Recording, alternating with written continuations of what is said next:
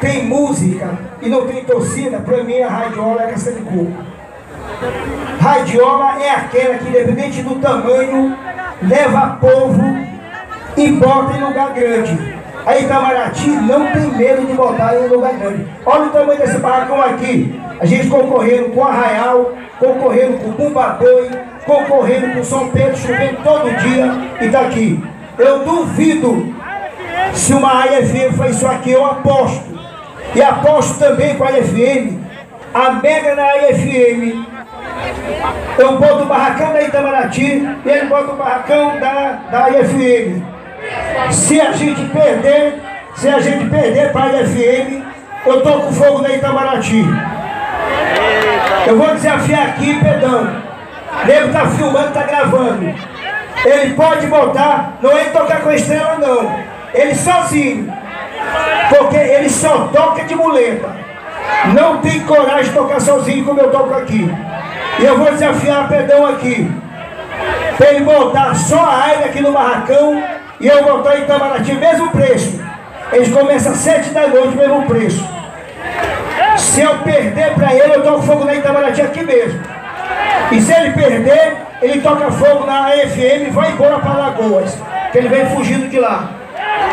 Então, radiola é essa que você bota no meio do terreiro sozinho, sem muleta. Tá aqui, ó.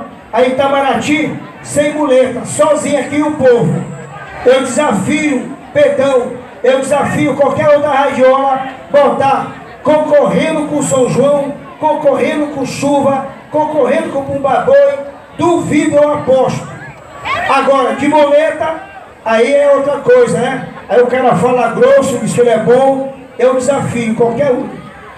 Qualquer um. Pode botar, eu boto barracão na Itamaraty e qualquer um pode botar de lado. Eu quero ver. Se eu perder, meu amigo, eu saio do reggae e acabou.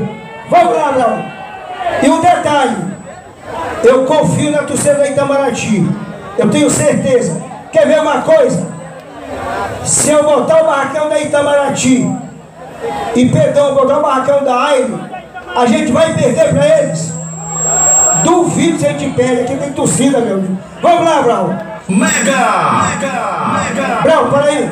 Para aí, Brau, para aí. Cadê? E eu vou te dizer.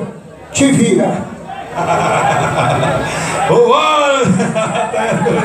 Aqui é Mega Itamaraty, o som da Obrigado, Neto Alves. Dizer que no dia 24 de agosto, daqui mais alguns dias, a Itamaraty fará 30 anos.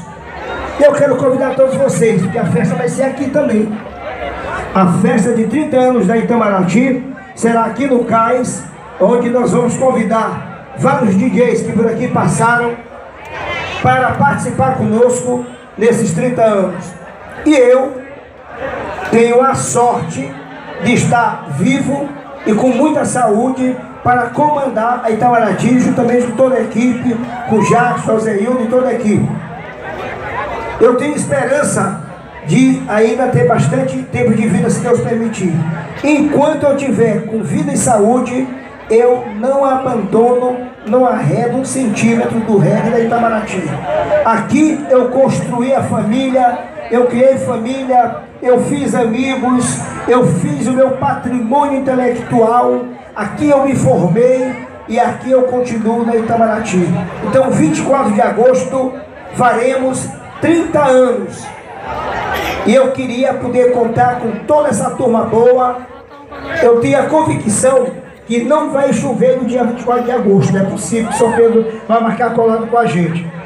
Então, a gente quer fazer um barracão maior do que esse para receber todos os amigos do Maranhão inteiro na festa de 30 anos da Itamaraty.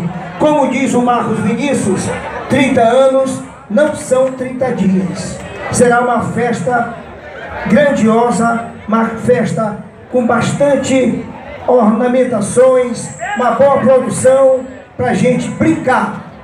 Depois dos 30 anos, eu não sei mais quantos dias, quantos meses ou quantos anos Deus vai permitir para que a gente possa continuar vindo na Itamaraty.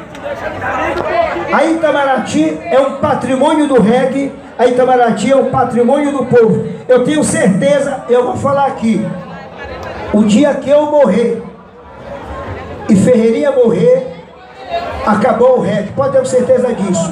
Vão ficar lembranças, porque infelizmente, infelizmente, não pareceu nenhum dono de radiola capaz, com a competência, com o tamanho, com o talento, com a perseverança, sem medo de falar de frente para o povo, sem medo de dizer o que é verdade. E aí, eu tenho que reconhecer que as duas maiores radiolas e patrimônio do povo brasileiro se chama Itamaraty e se chama Estrela do Sangue. Embora, embora Ferreirinha esteja pedindo aposentadoria. E eu já fui atrás dele para dizer, eu vou botar uma cadeira de rodas para ti, para ti não sair do reggae, doido. Tu não pode sair do reggae. Ele está só no interior, na fazenda, vem para a cidade. Tu não é bicho, vem para a cidade. Então, tenho convicção que o reggae depende de vocês, mas depende também de donos de radiolas que tenham fibra, vontade, determinação e que não pense apenas em faturar, pense na coletividade. Para concluir, estamos apresentando Marcos Queiro. Marcos Queiro já trabalhou nas maiores radiolas do Brasil. Isso não significa dizer que ele não pode falhar, que ele não pode errar. É ser humano. E o ser humano tem o direito de errar. Agora, não tem o direito de continuar no erro. Quem continua no erro é pateta, é burro. Ele não é. Se por acaso ele falhar, faz parte de talento de qualquer profissional.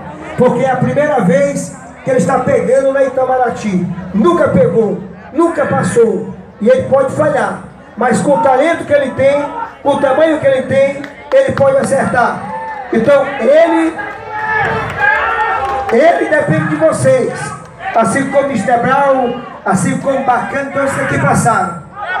Mr. Brown, Bacana e Marcos Keylor. E até outubro vamos trazer mais um DJ. Não sei quem é, mas até outubro. Quem, rapaz? Espera aí, rapaz. Eu tô falando de DJ, deixa de molecagem. Deixa de molecagem.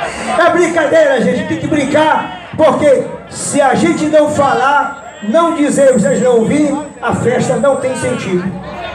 E o que eu estou falando aqui está gravado. O que eu estou falando aqui faz sentido. Eu não falo bobagem, eu não falo besteira. Eu falo o que é real. Embora possa doer no coração ou na cabeça de